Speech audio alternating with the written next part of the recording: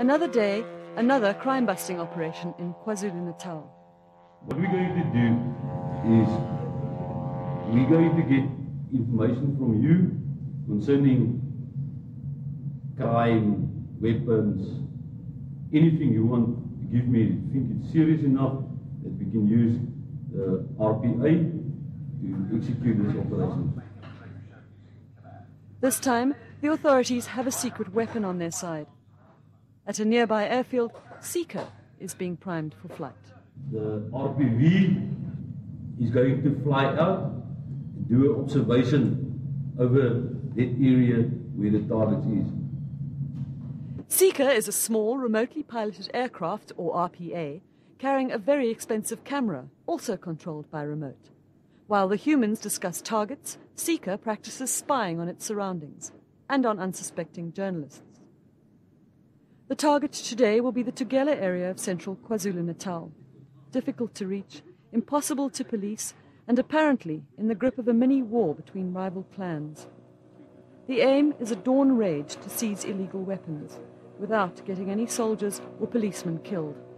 Accurate information is vital.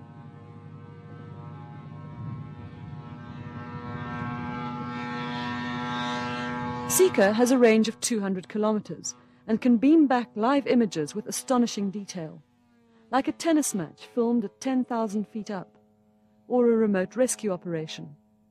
Seeker kept an eye on the 1994 elections and will watch over the polls next year. But the system really shines in the dark. This footage was shot at 3 in the morning over a pitch dark cane field near the Mozambique border. The dark shapes are illegal immigrants making a rendezvous with their taxi.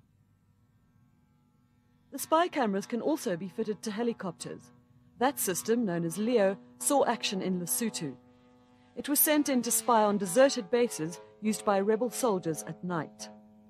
And we managed to actually see with the camera where the communications antenna was and the wire that actually led to their communication center. So we knew exactly where they were sending their communications from. So from what sort of height was your was Leo picking up the wire on the communications antenna? We were, we, went, we were about a thousand foot above the ground. Seeker breaks through the cloud and begins to send back images of the warring kraals, producing a living map.